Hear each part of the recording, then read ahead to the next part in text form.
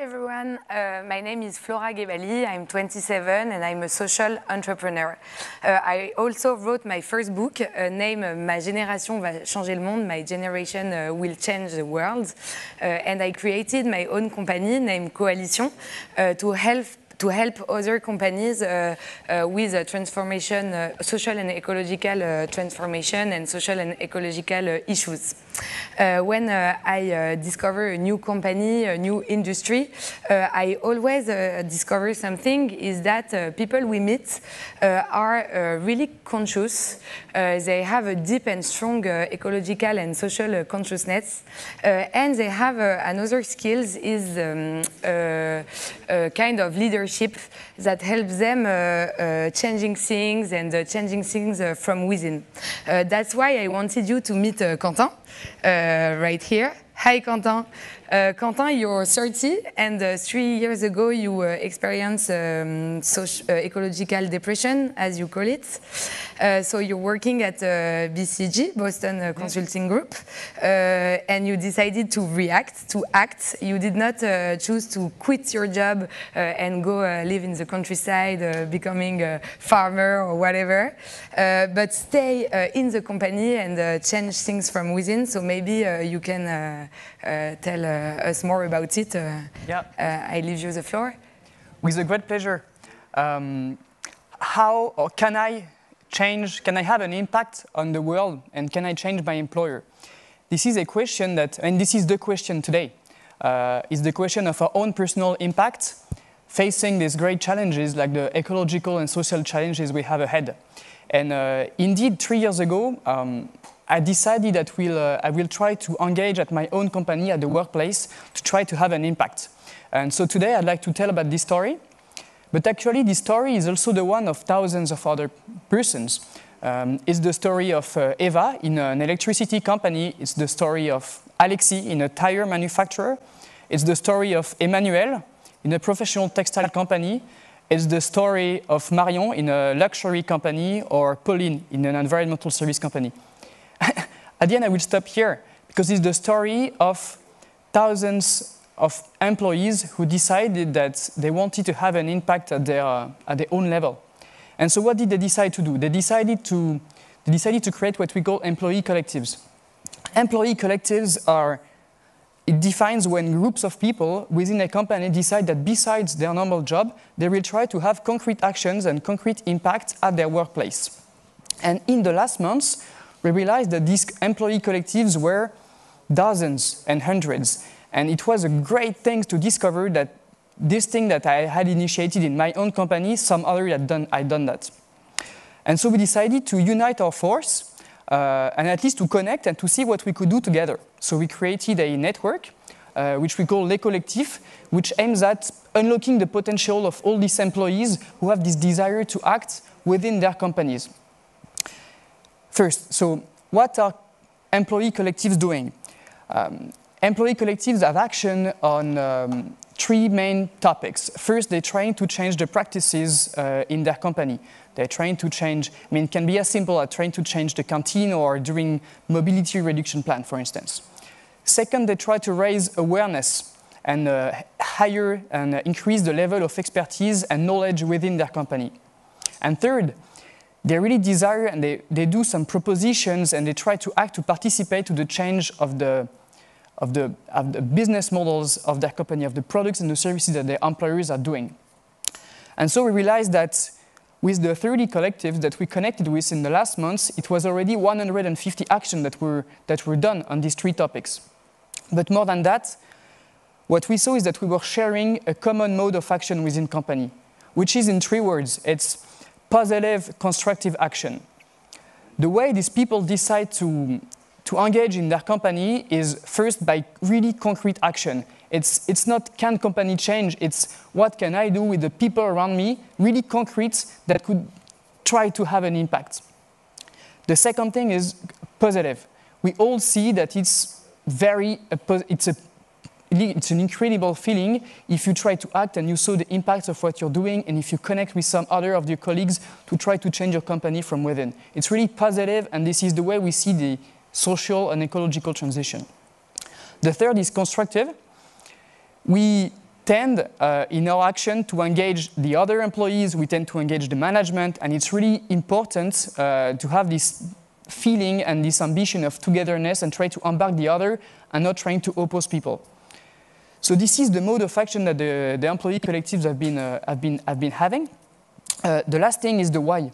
Why do employees at the end, uh, I mean, when we, when we exchange uh, from, uh, it was like a couple of months ago, um, we, we realized that we had common value, that the why behind our actions were, were quite common.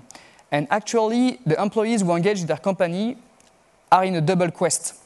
The first quest that they have is, the, is to align their personal convictions with their, with their jobs, with what happens at work, and with the products and the services of the companies they are working for. So there is a quest of alignment, which is really deep. It's, it's like it's intimate. And the second quest that there are is like it's more collective. It's how together we succeed in the social and environmental challenges ahead, which are really tough. And this quest has expressed itself through employee collective and concrete action. So it was an incredible feeling to meet within a company and with other companies, but we have the feeling that this can just be a beginning. Uh, we have the feeling that um, we may have to, to scale that. If we take a step back, today, 100% um, of companies will have to transform themselves. I mean, circular economy, I mean, this fair condi working condition in the company supply chain, responsible products, the, the steps and the challenges ahead are really huge. And all companies and all organizations will have to transform themselves whatsoever. On the other hand, we see that 80% of employees desire to engage at work, and that most of them in companies don't feel that engaged in the current situation. And we have the feeling that in our collectives, we, have, we had a native engagement. We have, when people do, do this action that they are doing at work, when they connect with some other people, it really, it really demultiplies the, the motivation that they have and it demultiplies the impact. And so we created this network that we call Les Collectifs to go to another scale. Uh, because we think of collectives, at the end we think of collectives of internal sustainability in incubators within companies. And what we want to propose with you today is, uh, I mean, what if this experience was put at scale? With the 30 collectives from 30 different companies in various industries that we connected in the last, in the last months, we, we gathered and we directly involved more than 4,500 people and touched many much more within our companies. There are 6,000 companies of more than 250 people just in France. What if in each of these companies, the energy and the desires of the employees was activated? And this is why we created the network, Les Collectifs, and this is why we want to, that is what we want to do with you. Each collectives are often started with a really simple step, trying to do um, today, I mean, trying to do something today. Uh, and our ambition with, uh, our ambition with the network is, is to make companies um, embark in this fantastic transformation, which is the transformation of their, of their culture and of their, their business models. Um, so if you're an employee in a company and you have this desire to act, just do it try to do this little action that maybe you have in mind, which can be trying to connect with some other people or can be a simple action at the workplace. Try to do with that and then see what happens. Because what we saw in our collectives is when you start small and you try to scale it, then you have a growing impact. And with the network, we'll be here to help. The other people we want to talk to are the, the leaders in companies. And um, if you're a leader, at the end, you have already in your company an extraordinary force with the people who are highly aware and highly engaged. You have these internal incubators, so identify who are these people, do you have a collective, and try to give them more support, try to hear them, try to co-build with them. We, we, have great, um, we have great examples of when management works with the employee collectives to co-build on a sustainability strategy, and really it's, it's magic. Um, so do so, give support, and uh, help them go to another scale.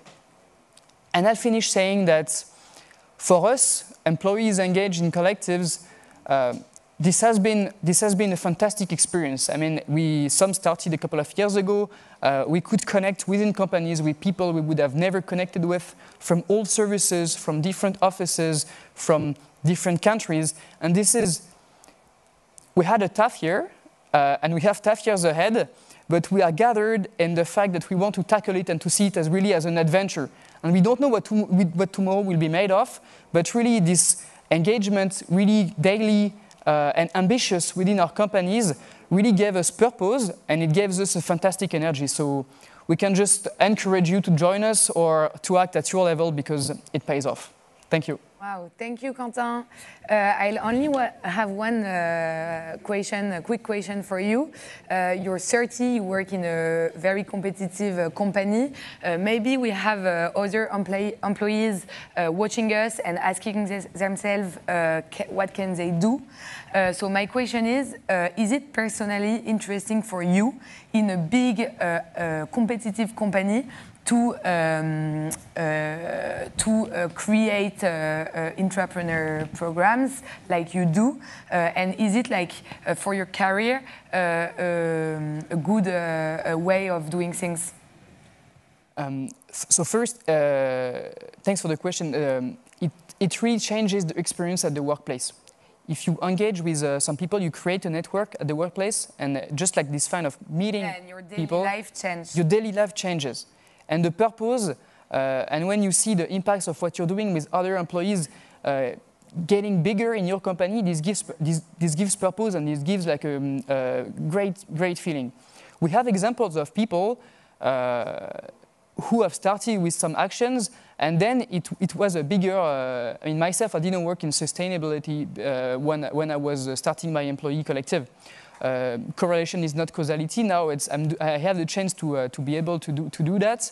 Uh, and we have similar experience in, uh, in Les Collectifs, but not all of them. Uh, but what we see is that engaging at your level um, makes that you try things, you connect with some people, and you gain experience in that, that topics. Uh, and so then, then you are in a, you are in a, uh, you are a resource, or you are a force for your employer. And we have many cases of people in their employee collectives who have this co-building relationship with the management. And sometimes it's changing their careers, sometimes not. But this is the, I mean, what we want with Les Collectifs is to increase the involvement of such aware employees in the building of the sustainability strategy of their companies. Okay, thank you so much, Quentin, you, for your testimony. So now uh, I'm pleased to introduce uh, Tatjana, who will uh, moderate uh, the next uh, session. Tatjana is a business consultant specialist for innovation uh, enhancements. so maybe, hi, Tatjana, can I give the floor?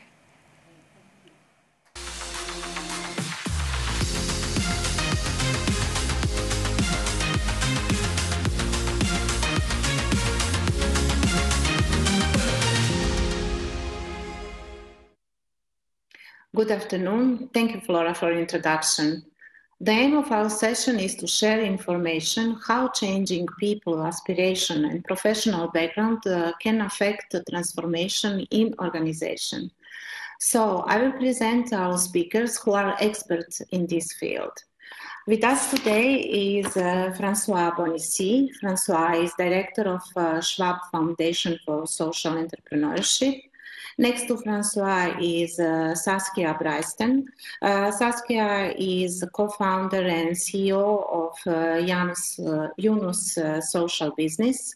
And uh, with us is uh, Gisela Sanchez. Gisela is Director of Corporate Affairs at Florida Ice and Farm Company. welcome and thank you for being with us today. To get us started and uh, have a mutual understanding, uh, Saskia, could you tell us what do you mean when you say social entrepreneur? Of course, and thanks so much for the introduction. Um, so basically, when we talk about corporate social entrepreneurs, um, we're actually talking about intrapreneurs, so employees within large corporations that have decided to solve a social or environmental problem through building a business unit or even a separate spin-off business um, that uses the core competences of the company to solve that particular social or environmental problem. So my favorite example that I always use is um, a joint venture that we created over a decade ago with Danone. Um, it is a separate business unit that has been spun off from Danone, but is still owned by Danone, um, the yogurt company, and um, it uh, sells yogurt that's enriched with micronutrients and vitamins to combat malnutrition. So that's a social problem that this company um, is solving um, and does that in a business way. Um, and all profits get recycled. So that's that's basically an example of a corporate social business that has been started by a corporate a corporate social entrepreneur to explain um, where we're coming from. Thank you, Saskia. It is really important uh, to underline this difference between entrepreneur and entrepreneur. So uh, moving to Francois, Francois uh, Klaus Schwab is actually well-known foundations and uh, foundation and calls business leaders uh, to reimagine our world and specifically our economy uh, in order to bring new direction in this post-COVID time. From your point of view, what roles social entrepreneur play in that? Thank you so much and uh, delighted to be here and together with uh, Saskia and uh, Gisela. So just lovely to to see everyone and, and, and be at this conference today. Uh, indeed, uh, the companies today are, facing significant questions about their role in the world. And uh, Professor Schwab and uh, our chairperson, Hilde Schwab, have been really proponents of the idea of stakeholder capitalism. and this is while it's been around for more than 50 years as a concept, has only become more recently accepted as the dominant philosophy around how companies should operate in the world. They're beyond just a corporate responsibility, actually, they have uh, a whole set of responsibilities, but also business themselves are an important stakeholder. And as now leaders of business ask their themselves the question around well what is our purpose as a company and society? What is our purpose in sustaining the planet? And who is going to do that for us? The big question then becomes the how and the who. And so we uh, together with our partners like Yunus Social Business and together with uh, pointing and shining the light on amazing entrepreneurs like uh, gisela who's with us today truly believe that so much of that change needs to come from within a company uh, and that's really the role that intrapreneurs can play. Uh, while many people outside the company can, can give perspectives around what a company should do, it really requires people inside the company to, to be that change, to, to, to, to drive both initiatives like uh, uh, Saskia demonstrated with an example that can prove a case, that can prove a point that it is possible for companies to have purpose and be financially sustainable and successful and also, we know the next generation of young people uh, also want this out of companies. So there are so many reasons why companies need to do this. The question is how and who, and we really want to focus on why intrapreneurs, while they have many similarities with entrepreneurs and social entrepreneurs, are a really important uh, a tribe of people around the world that we need to support and shine. Thank you, thank you, uh, Francois. Uh, coming back to Saskia. Uh, Saskia, you have been working with and researching uh, social entrepreneurs in a large corporation for uh, many years. So, what do you feel has changed the most over the last year? What kind of impact has COVID uh, had on the work of entrepreneurs? Um, yeah, indeed, we we have actually been working um, in this field of social business for over a decade now, and over the last uh, many years have uh, been working with large corporations, but of course also with local entrepreneurs at Yunus Social Business. Um, so if I look at how things have changed over the last decade, when I actually started in this field a decade ago. I would go and tell people that you know we set up social businesses um, together with corporations or together with local entrepreneurs, and people were like, social what? They didn't really understand that you could have a social problem that you solve, but you do it in a business way. They were either thinking like, oh, that's charity or CSR, or they were thinking, oh, that's normal business and let's have very high returns. So that idea of actually creating a type of business um, that would solve a problem and be financially self-sustainable and profitable was something that's very foreign about 10 years ago. Now I feel, um, similar to what um, Francois has just been saying, the dominant narrative is changing. So we're not only talking about shareholder value maximization, but we're now talking more and more about how business can also do good to society. And within that whole spectrum, there's like a big spectrum from everything like uh, you know, super extreme like social business where everything gets reinvested, um, all the way through to well, a little bit of ESG, which um, environmental, social, and governance, uh, which is a, is a term for ensuring that corporations don't do as much harm as they did before.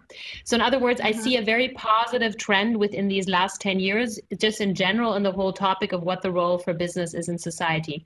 Now, if we jump specifically into the whole topic of corporate social entrepreneurship, um, I also see a positive trend um, for one reason that corporations have now for the last two three years and particularly started being under pressure from a number of different uh, sides. On the one hand by grassroots movements like the fridays for futures or the black lives matter um, consumer groups are pushing more and more for transparency in the value chain. Employees don't want to work for big old corporations that just make profit. And also, even investors like the big black rocks of this world, in brackets, and they're not perfect at all, um, are also pushing for more environmental and social responsibility. So these companies are now being pushed so they're making commitments and saying, "Oh, we're going to be net zero X Y Z until some some year, or we're going to have so and so much social impact." But the issue is they often don't really know where to start and how to get things done concretely. And that's where we believe that the solutions to those problems actually often lie within the company. And that's where sort of corporate social entrepreneurs, so employees within the companies, often know how they could employ the resources of these global corporations to really solve social problems. Um, and um, if I'm now looking at particularly the COVID crisis, I think that, let's say, I'm optimistic here that this um, has accelerated um, the drive for corporations to at least attack the environmental topic. And slowly but surely, I also see that companies are slowly but surely understanding that also the inequality topic and the racial inequality, economic inequality has to also be um, attacked by corporates, and that corporate social entrepreneurship is one tool and one pathway how they can get there. Thank you, Saskia. Mentioning that uh, uh, many of the corporation and uh, smaller entrepreneurs, uh, they have a uh, company in general, they often have a nice title with uh, those goals, but actually they don't know how to start in implementation terms. what would be your, let's say, one, two, three suggestion, meaning first steps to, to, to be undertaken in in real uh, in in real direction uh, with the concrete impacts? Um, well, first of all, I think um, uh, find out a good balance between what are the problems in the world and what are my core competences as a company. We often at Yunus Social Business kind of offer what we call spark shops, so kind of workshops where we bring those two worlds together: the problems in the world and the core competences of the business, and that's where great ideas can come up that can come through like a creative workshop that can come through you know uh, people in the company and, and applying for like an ideas uh, um, competition. And that's where you relatively quickly can find uh, an idea what you could do. I'm just thinking for example about a company like axa uh, a big insurance company. It was pretty easy to say well they currently sell insurance to the middle class around the world. Those people are covered. They realized so and so many million people in the world, I don't know the exact number, don't actually have the access to insurance. But they need it because those are often the ones that are the most vulnerable to um, shocks, like let's say environmental shocks, for example. So mm-hmm. AXA started with their emerging customers uh, business, uh, which which a lovely corporate social entrepreneur that we know, Garance uh, uh Richard Vaté, is is leading. Um, they came up with um, uh, insurance solution for let's say um, the lower middle class in uh, in sub-Saharan Africa. uh, and have started coming up with specific solutions for them. So, literally, I think again, you just have to start with what are your core competences? In this case, it's insurance. What are the problems in the world? People don't have access to insurance and thereby fall into poverty more quickly. Match those two and come up with a business model. Um, and then I would say, don't um, well let's say give that business some freedom to develop. Don't try and do it all within the corporate structures. Just give it some freedom to develop. Like put one social entrepreneur on the driver's seat. Give it some budget and let it run rather than trying to control everything in the normal corporate structures. So it needs a little bit of a separation from the normal business as well i would say. Yes, thank you. It would mean that uh, the main advice is actually to be focused in the frame of own uh, resources and competencies. Uh, another issue uh, which uh, Saskia you might to comment to our audience is uh, what is the role of executives in uh, all these scenarios? Because there is a tendency, as you explained, that kind of power and weight is putting down on employees, meaning the transformation is going going down to organization hierarchy. So what is the role of executives uh, or uh, top leaders or managers in this scenario? Um, well, I'll answer that, but I think we should also hear Gisela on this because, of course, she's been through this practically. She is a corporate social entrepreneur and she's created a totally awesome social business. So, perhaps maybe one sentence from my side it is, of mm-hmm. course, the best solution if you have buy-in from uh, the chief um, executive um, of the company um, mm-hmm. and um, if they really push for these types of initiatives to happen. Sometimes that doesn't happen right away at the start, and the corporate social entrepreneur has to do their own thing um, and just get started and try and create some success, and then later on sell it internally. And sometimes it really comes top-down mandated from the CEO or the board. That's of course the ideal solution because it um, it gives the initiative the best backing because. Um, these types of initiatives, corporate social businesses, they're not typically normal initiatives within a corporation. Um, that's why actually a, an initiative that Francois and I, so the World Economic Forum, uh, Schwab Foundation, and Yunus Social Business have created together is called the Unusual Pioneers. Because people like Gisela, they're not the typical people within corporations. They're the crazy frogs that decide, you know, despite the fact that this corporation is actually here to make profit, I'm actually going to use this corporation to do social good. So I'll shut up at this point. I really think we should listen to Gisela because she's a practitioner. Um, and and she's just she's an awesome leader in this field. So I'll uh, I'll, I'll let her tell her story. Thank you. Thank you, Saskia, for uh, a nice introduction for Gisela. We will uh, have enough time to, to hear story from Gisela. Now we are eager to, to hear you, Gisela. You are also coming from a large corporation. For start, could you please briefly introduce your career background, uh, uh, uh just uh, some details about that? Yes, thank you so much for the opportunity to be with you. I feel really honored. I'm an industrial engineer uh, with an MBA, uh, 25 years of experience, the majority working on sustainability, and the last 13 working for a food and beverages company that has headquarters in Costa Rica and operations in the US, Mexico, and Central America. So, but most important than that, I will say I'm a mother and a wife and, uh, and a daughter. And because of that, I always have been dreaming about being part of the solution to at least one of the, of the challenges of the world. And, um, and 10 years ago, I started thinking about what is my purpose, came across a fantastic definition of purpose, of personal purpose by uh, Frederick Buechner that says, purpose is where, or the place where the, your deepest, or your deep gladness and the world's deep hunger meet. And in my case, uh, I kept asking the question is food, food for everyone, and especially for children. So starting doing my own research, thinking uh, as an opportunity to be an entrepreneur and uh, understanding what are the, the main causes of malnutrition, what is undernutrition or hidden hunger. Uh, 2 billion people suffer from hidden hunger around the world. And there is a, an opportunity called 1000 days window. That is the most critical part when a, a boy or a baby uh, is created. So pregnancy and the first two years are the most important.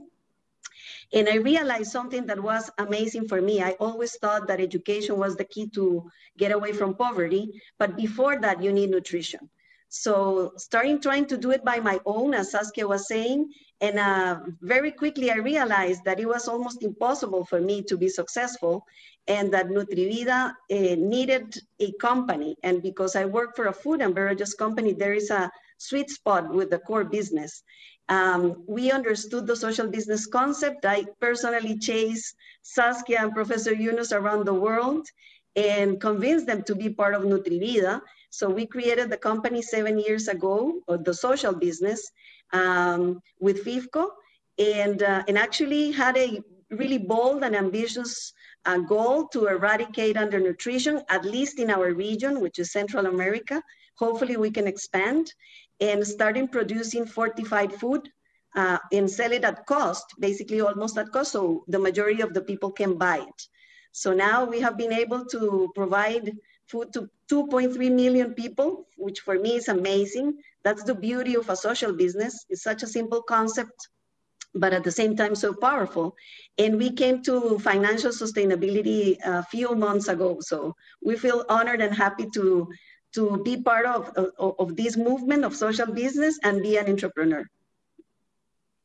Thank you, Gisela. It's really impressive and inspiring, if I may say, because it's really concrete uh, indicators and achievement behind your uh, uh, story and uh, your social uh, initiative. Uh, so, can you pick some, for our audience, it's always interesting to hear some concrete exam example. Can you pick some story, some concrete example from recent, recent past of how your initiative came to light? Yes, actually, I joined the company um, 13 years ago, the right timing because we were growing very fast. So the economic component of the company was in good shape. And, um, and I proposed that we can become a triple bottom line company and create environmental and social value at the same time compensate our employees at least 40% based on those two uh, dimensions instead of only the economic. And, and, actually Nutrivida was part of that. We decided to invest 8%, uh, around 8% of net profits in social endeavors. So uh, Nutrivida was a natural thing to do uh, because the, the social business concept is so powerful, so simple, and we, we could invest this money instead of having to invest every year in, in different um, social uh, uh, projects like uh, with NGOs, we could create this social business and be financially sustainable. I thought in three years, but it took seven years. Uh, so that's one of the lessons learned. You have to be cautious about what you say and you promise to your board.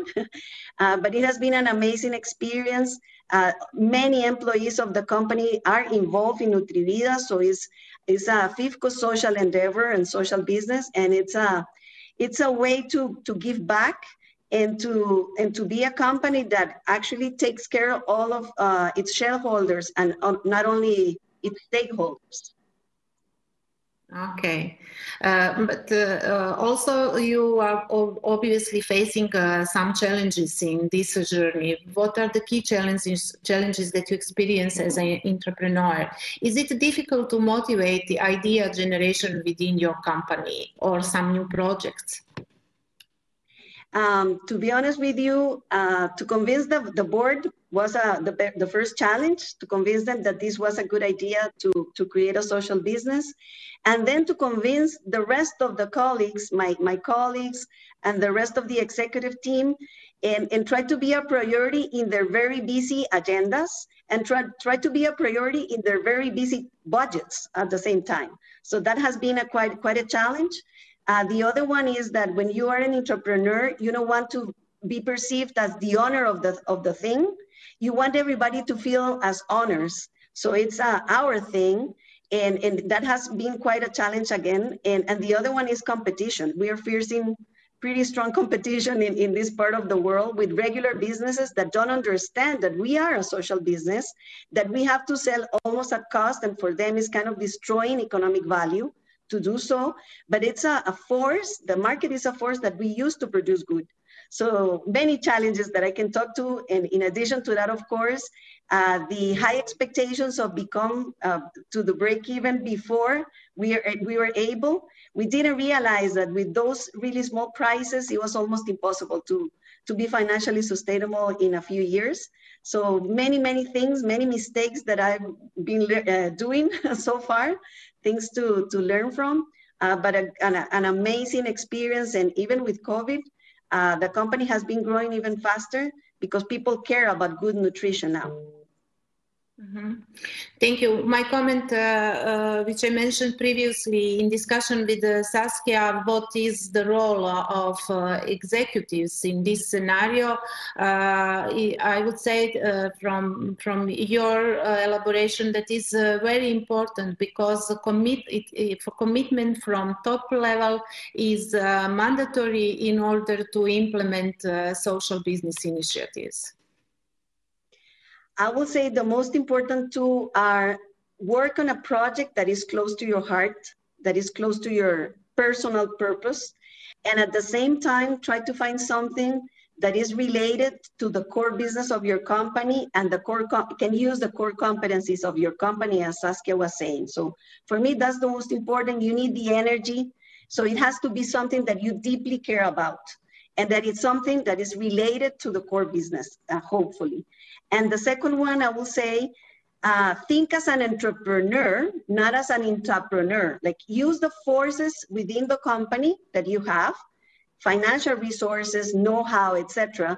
But think as an entrepreneur, you have to be agile. So you don't have to fit into the, the little corporate box and the second one that I will feel pretty strong about is you have to feel that you don't have resources, that you don't have a lot of money available, that you have to be really, really efficient, that, that you have to be really, really careful. So that's the mentality of an entrepreneur more than an intrapreneur.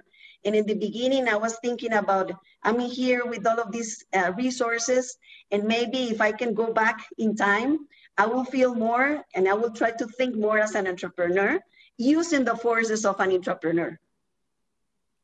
Thank you, Gisela. With your thoughts, I will conclude our conversation. Uh, thanks a lot for uh, all of you for sharing your experience and expertise. Uh, I believe our audience enjoy enjoy this interesting discussion.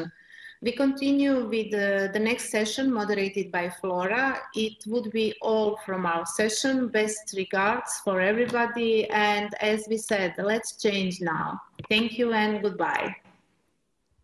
Thank you so much. Bye. Bye. Bye.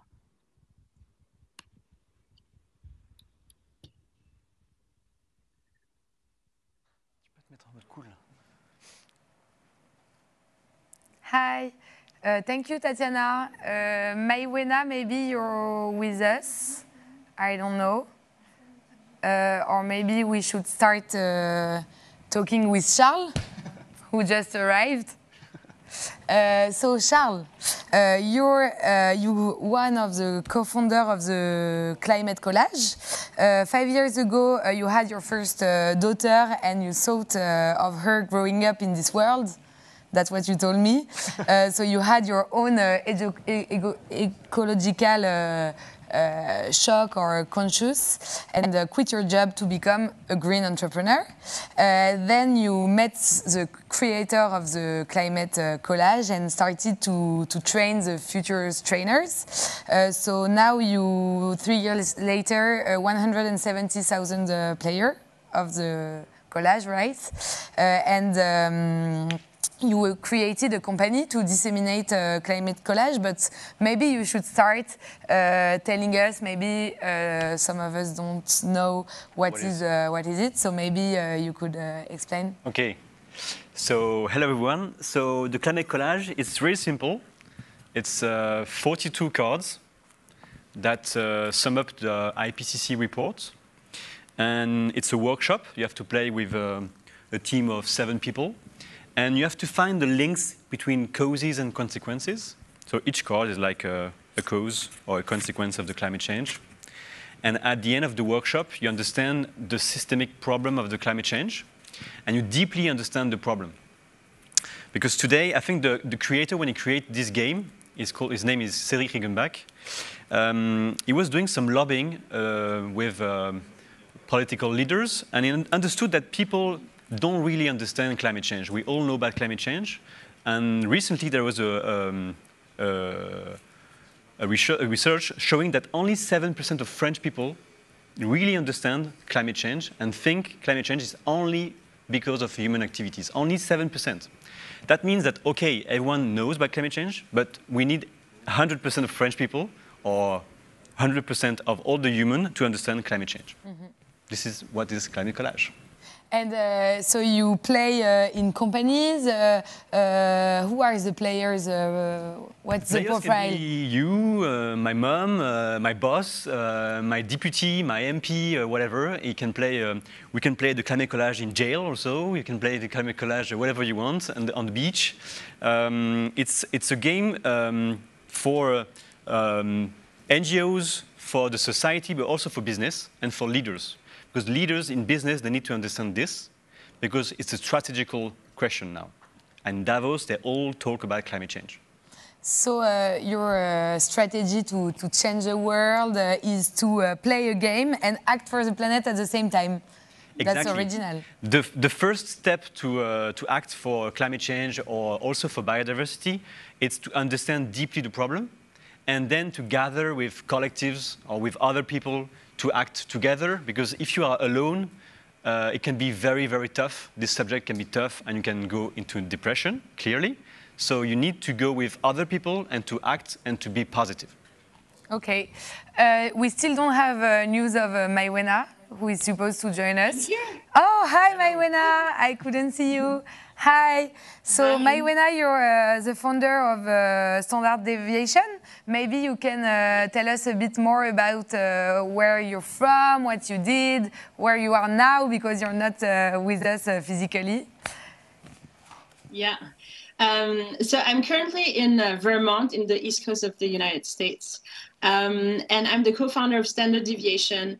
We are a consultancy um, helping business leaders transition their company towards regenerative models. So we help them become solutions in the face of the climate, environmental, and social crisis rather than just doing less harm. Um, the pen in our name, standard deviation, um, comes from this idea of we are, we're helping standard companies, so companies who are part of the mainstream economy, we help them deviate their trajectory um, and we help deviants, so companies who today are still marginal in their influence, but have positive impact in their DNA. We help them become the new standard. Um, in both cases, uh, we empower people in those companies um, to come out as business activists. Um, so we help them link their personal, intimate convictions with their business opportunities to transform towards regenerative models.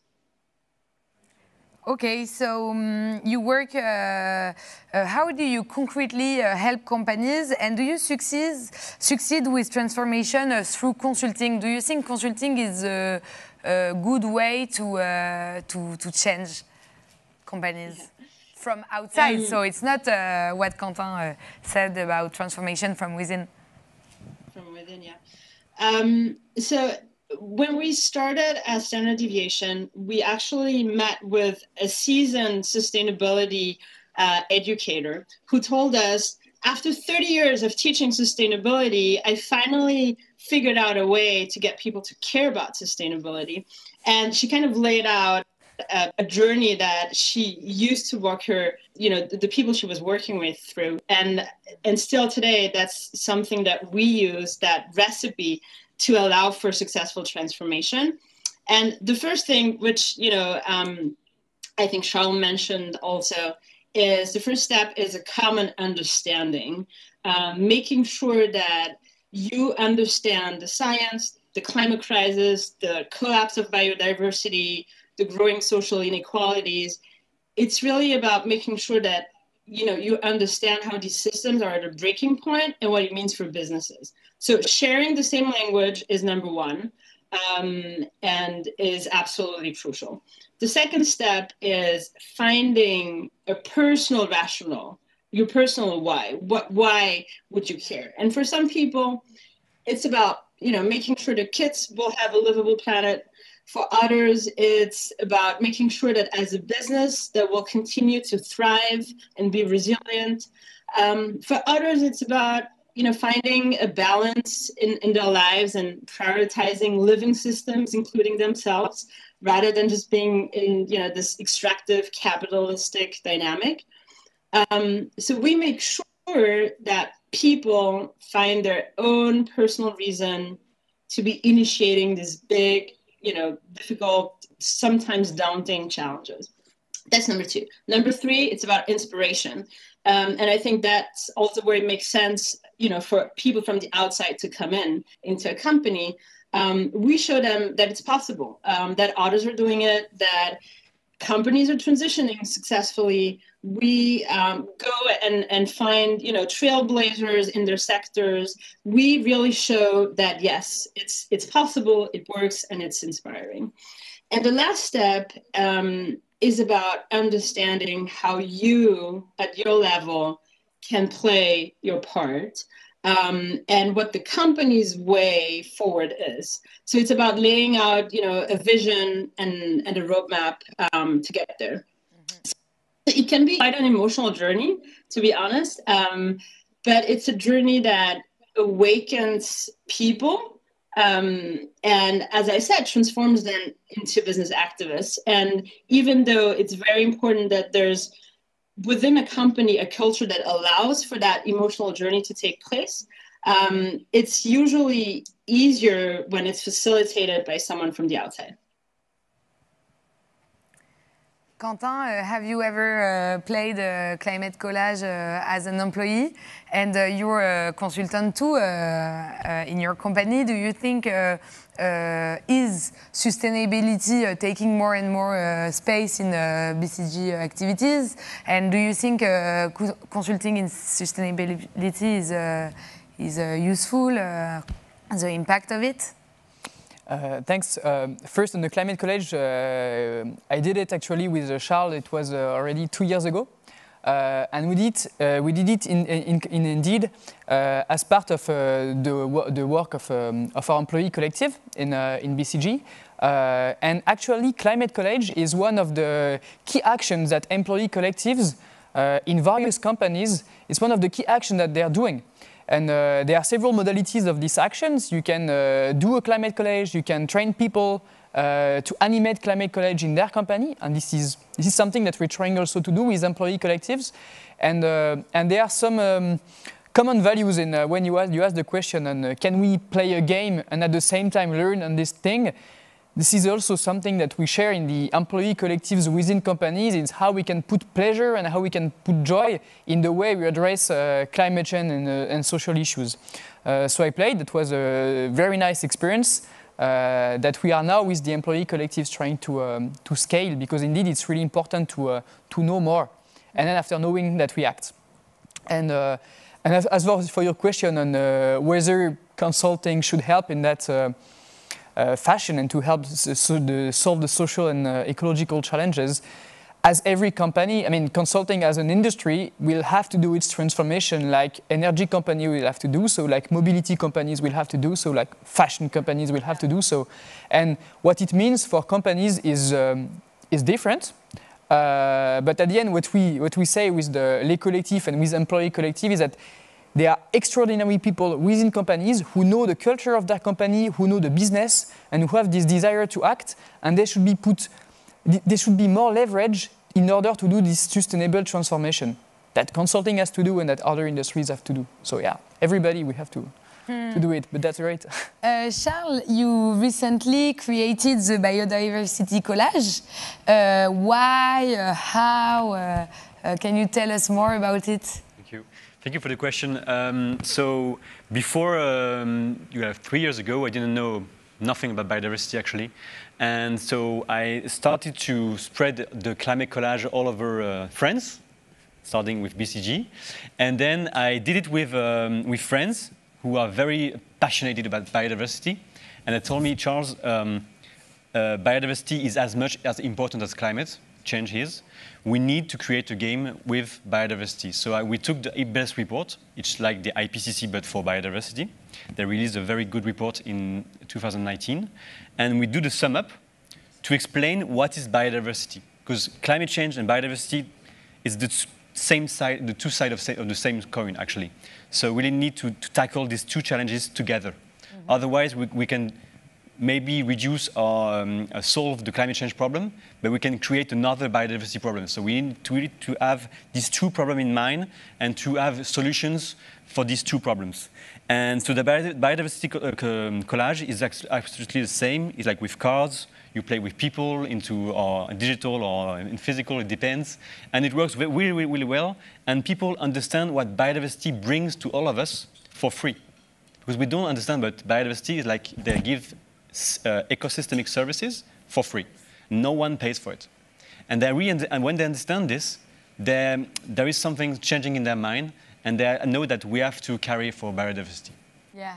Yeah, uh, I, I, played several times uh, climate uh, collage, but uh, never, uh, no, but never biodiversity. So I really want to. Uh, I'm going to do it as soon as possible. um, Mawuena, you have you're launching a new project too, a re regeneration studio. Maybe you can tell us more about it. Sure, yeah. So we're launching um, a regeneration studio to help businesses launch new ventures that are truly regenerative. And by regenerative, we mean um, three things. One, that a business is actually able to capture more carbon than they emit. Um, two, is building back biodiversity rather than destroying it. And three, is actively building social justice rather than contributing to the widening inequality gap. Um, and to build this you know, regenerative economy that will allow us to thrive in, in, the, in the next decades to come, um, we're lucky to have a few trailblazer companies, um, you know, the Patagonias, the Dr. Bronners of the world, who are exploring this in, in a super serious way. But there's still there's still so much to invent, right? So how do you source ingredients and materials that contribute to ecosystem regeneration? how do you build um, supply chains around regeneration? How do you operate a culture as an organization that allows for regeneration?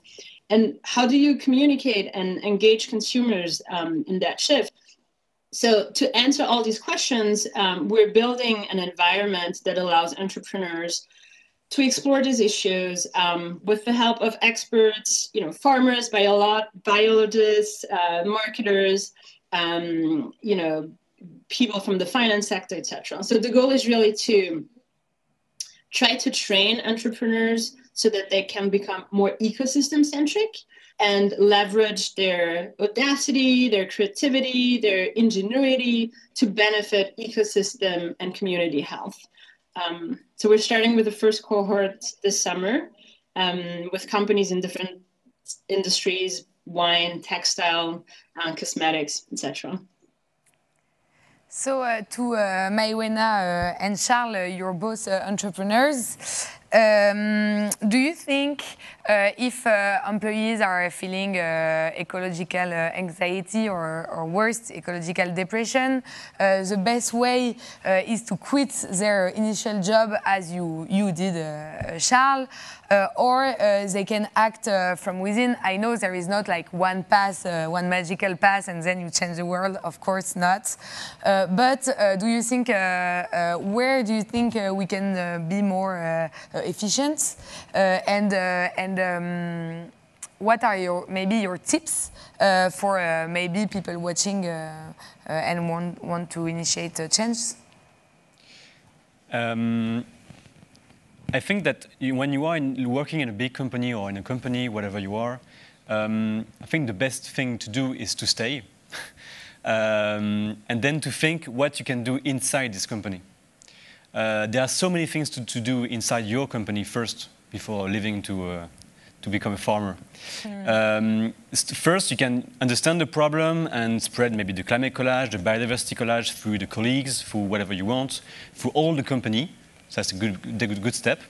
Second thing, you need to, to create or to join a collective, uh, to gather with other people to make some collective actions. and you will see that you, you give a signal to the leaders in your, into your company, and they, they will integrate this signal one day. And then um, I think you need to, to try to, um, to change the core business of your business. Because uh, the core business is the key. So if you are in a company, go into the core business and try to change this core business, to change the business model. And when you will hopefully uh, reach the change of the business model, and after you will have to go to the maybe to the political uh, leaders to change the rule, because the rule has to change. And but the rule will change when the business model will prove that there is a way, mm-hmm. and when people will show that they want to change. So it's all this um, journey that you have to to to live. And if there are some hurdles or problems or whatever, maybe you can think about leaving the company. But if you leave the company, say why and say it loudly. so the leaders into your company understand why there is a problem. Yeah, that's a really good uh, advice indeed. Uh, Mawuena, do you often meet uh, clients uh, ready to change uh, their core business? or yes actually we do well it doesn't you know they don't come to us with that question but in the end that's what um, that's oftentimes the outcome of our projects for sure um, and I, very much agree with what charles um, just said there's you know i, think a good question um, to ask yourself of you know if you're in that position of should i stay or should i leave um, there's this question of what's your responsibility in the literal sense, like what's your ability to respond. Um, and if your thing is, you know, become a farmer, then great, do that. You know, we need more farmers. But if you're happy in the corporate world, um, and your best ability to respond is by being a financial director or a, a, project manager or an executive assistant or you know a marketer then then do that um, we need, of course, these talents to um, be working on on a transition, um, and and we need these people from within the companies.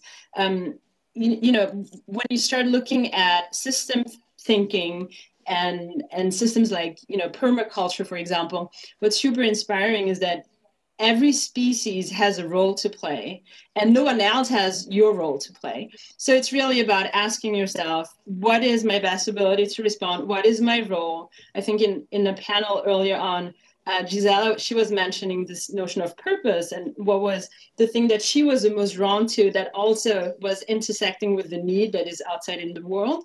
And so it's, I, think it's really about um, making sure that you ask yourself that question. Yeah. Uh, Quentin, uh, do you think when we're not a CEO or top leaders, or top management, uh, we can like really transform uh, organization? This idea of a, a core business, uh, uh, trans transforming core business. Do you think it's possible when we are not high? Yeah, in among employee collectives, what we often say is that we're not trying to ask the question of is it possible or can I have an impact? It's really more what can I do with the people around me? What can I really concretely tomorrow? Um, and what we saw in the experiences of the, for instance, the, the dozens of uh, employee collectives that we gathered is that when you start with these small actions and gathering a few colleagues, then it, it starts to be bigger. And we have experiences of collectives who then had great discussions and great co-building projects with their management to have this discussion on the, on the business model. So the question is, uh, we all can have an, an impact, uh, and the question is more how we scale it and how we go faster to have a greater impact. And, and this is why um, in the last months we connected uh, several employee collectives, and now we created this network of employee collectives because we feel that there is a, we can scale up now. Uh, we can scale up because uh, there are many people within companies who have this desire to act, so we want to help them to act initiating a collectives on, and trying to transform it into how they can make evolve the, the core business. And there is also a scale up in Indeed, and if you look at the actions of the collective, the true potential that we see is how we leverage this extraordinary force of people wanting to act to change the core business of companies. And it's very important to be exemplary and to align its own um, behaviors with, uh, with, with, our own personal con- con- convictions. But really, the leverage effect is in the products and the services of companies, and there are many people within companies who are highly aware of these topics and who have ideas and who are ready to act to change it. Yeah. Uh, Without being CEOs. Yeah. Uh, to conclude uh, briefly, uh, maybe Mawuena or, or, or Charles, uh, um, uh, do you think we can uh, deeply conduct ecological changes in companies, in big corporations, because that's what we're talking about, without changing social vision, culture in, in these companies? or do you think these two changes um, uh, have to go like together? Or do you think we can like really change without changing the social system uh, how it works? Uh, I, I, I won't say changing capitalism but almost. Who want to start I'll let uh.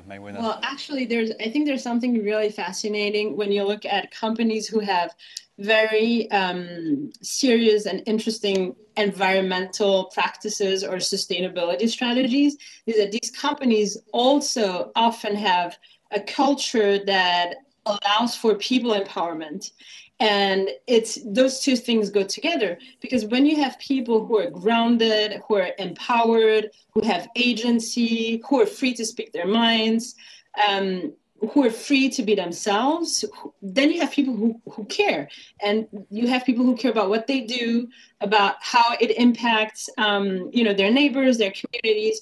So it's when you start having disconnection that you have destruction right? It's when you have disconnection between people who make decisions and people who do the work. When you have disconnection between you know the physical location of where you make those decisions and where the work is happening that's when you have destruction. So it's fascinating to see that great sustainability transformation always or oftentimes really goes hand in hand with with the strong people empowerment culture um, and that's also when we see the rise of you know models that exist within capitalism but are not necessarily capitalistic, like co-ops, for example.